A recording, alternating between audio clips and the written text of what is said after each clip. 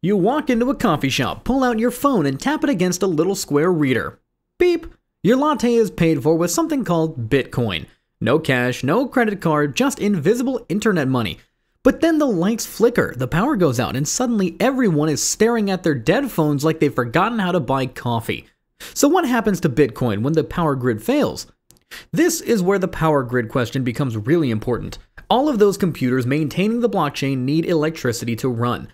The computers solving the math problems to earn new Bitcoin need electricity. The computers processing transactions when you buy your coffee need electricity. In fact, the Bitcoin network uses an absolutely enormous amount of electricity. I mean, we're talking about more electricity than entire countries use. Some estimates say that Bitcoin uses more electricity than Argentina or Norway. There is a lot of power for invisible internet money. So, what happens when the power goes out? Well, it depends on how much power goes out and for how long. If your house loses power, but the rest of the world still has electricity, then Bitcoin keeps working just fine. You can't access your Bitcoin at this time from your dead phone or computer, but the global network of computers maintaining the blockchain keeps on humming along. It's just like if your TV breaks. All the TV shows keep getting made anyway. You just can't watch them until your TV is fixed. But what if a whole city loses power, or a whole country? Now, this is where things get a bit more complicated. Bitcoin is designed to be resilient. The network is spread out across thousands of computers and hundreds of companies. If some of those computers go offline because they lose power, the remaining computers can still keep the network running. The blockchain is like a really stubborn mule. It's designed to keep going even if some of the computers pulling the cart fall down. However, if enough computers go offline at the same time, things start to get wonky. Bitcoin transactions might take longer to process, the network might become slower and more expensive to use, and in extreme cases, if too many computers go offline, the network might actually struggle to function properly. It's like if half the hall monitors in our school example suddenly disappeared. The remaining hall monitors could still finish their job, but they'd be overwhelmed and might miss some things. Now, here's where the future of money people and the it's a scam people start throwing digital punches at each other. The future of money crowd argues that Bitcoin is revolutionary because it doesn't depend on banks or governments. With Bitcoin, though, you could theoretically send money to anyone, anywhere in the world, almost instantly without asking anyone's permission. It's like having a universal currency that works everywhere. There's also the volatility issue. Bitcoin's price goes up and down like a roller coaster designed by somebody who really, really likes roller coasters. One day, one Bitcoin might be worth $50,000, and the next, it might only be worth $30,000. Then it might shoot back up to $60,000. Now, that makes it pretty terrible as actual money. The power grid issue also adds another layer to this debate. The future of money people argue that Bitcoin's resilience proves it's superior to traditional banking systems. If there's a major disaster that knocks out power grids, they say at least Bitcoin will still exist somewhere in the world, ready to spring back to life when the power comes back on. Traditional banking systems, however, rely on centralized servers and infrastructure, and they might be more vulnerable to widespread failures. The it's a scam people, though, counter that with if the power grid fails badly enough, then we'll have much bigger problems than whether our digital money still works. If there's no electricity, there's probably no internet either. And if there's no internet, Bitcoin becomes about as useful as a chocolate teapot. You can't eat Bitcoin, you can't burn it for warmth, and you can't use it to fix your broken water pipes. In a real crisis, they argue people will want food, water, medicine, and shelter, not digital certificates proving that some computer somewhere once solved a math problem. There's also the question of who actually controls Bitcoin.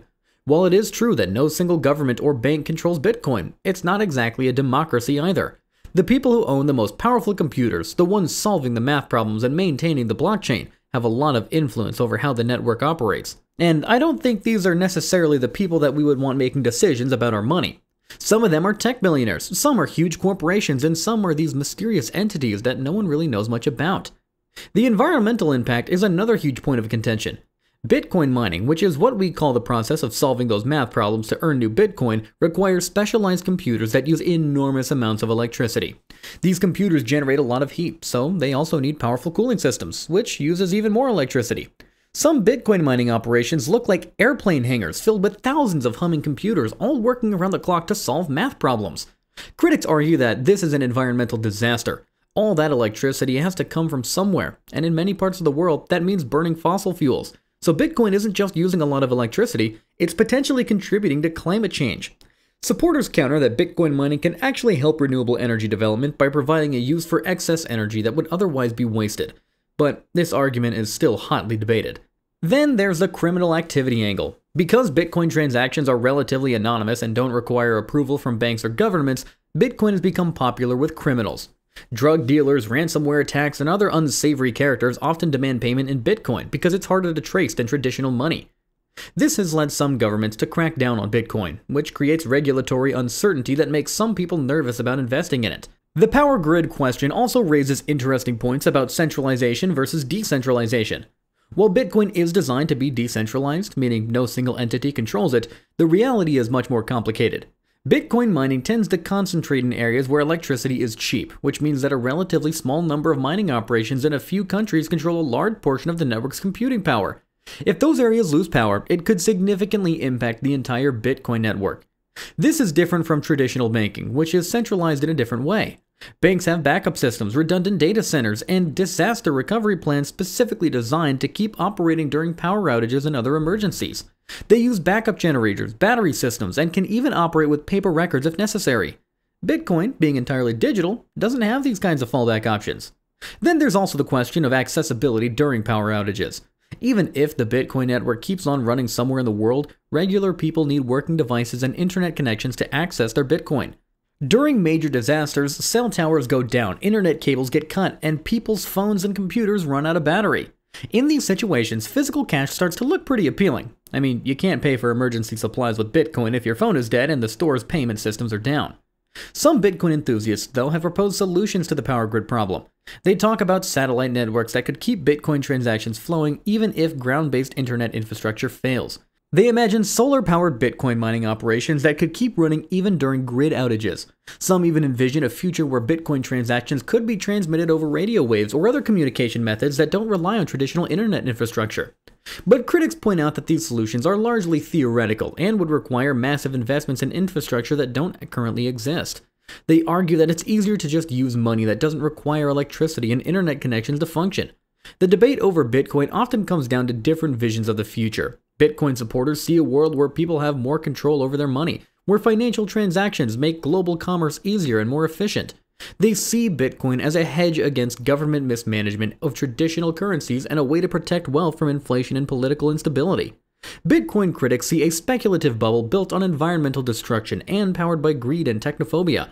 They see a system that benefits early adopters and tech savvy investors at the expense of regular people and the environment.